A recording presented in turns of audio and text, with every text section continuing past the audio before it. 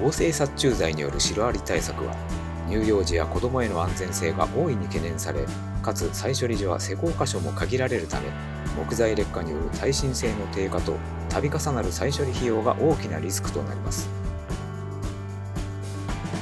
そのためシロアリ対策の現場では SDGs の観点から長期間効果が持続する放散処理へのシフトが始まっています。